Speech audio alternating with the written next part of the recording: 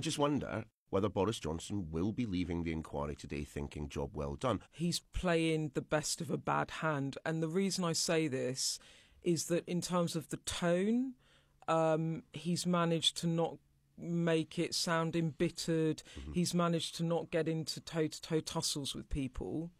But in terms of the substance of the evidence, it is reaffirming that in January and February, when he was privy to information, that he didn't seem to grasp the nettle. And he's admitted the government didn't grasp the net. And I guess what he's trying to do is take up collective responsibility of blame.